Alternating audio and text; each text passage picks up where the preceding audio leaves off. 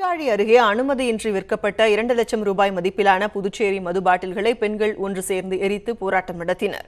நாகப்பட்டினம் மாவட்டம் சீர்காழியை அடுத்த தொடுவாய் மீனவ கிராமத்தைச் சேர்ந்த தங்கம் என்பவர் புதுச்சேரியிலிருந்து மது பாட்டில்களை கடத்தி வந்து விற்பதாக அப்பகுதி பெண்கள் கூறி வந்தனர்.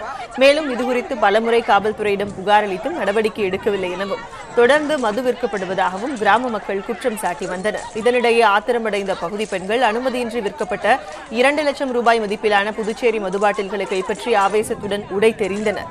மேலும் மதுபாட்டில்களை தரையில் ஊற்றி தீயிட்டும் கொளுத்தினர். அதேபோல் புயல்கூடம் அருகே ஆண்கள் மதுபாட்டில்களை உடைத்து எறிந்து போராட்டத்தில் ஈடுபட்டனர்.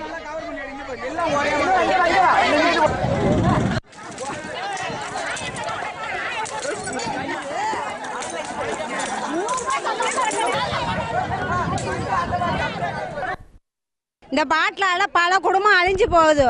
நாங்கள் நடவடிக்கை எடுத்து பார்த்தாலும் ஊர்ல நடவடிக்கை எடுத்தா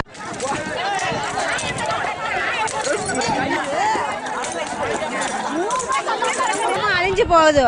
நாங்கள் நடவடிக்கை எடுத்து பார்த்தாலும் ஊர்ல நடவடிக்கை எடுத்தாலும் கட்டுப்படுற மாட்டாங்க போலீஸ் கம்ப்ளைண்ட் கொடுத்தாலும் ஒரு மாசத்துக்கு உள்ள வைக்கிறாங்க. பணத்தை வாங்கிட்டு விட்டுறாங்க எங்களுக்கு எந்த பாதுகாப்புமே இல்லை.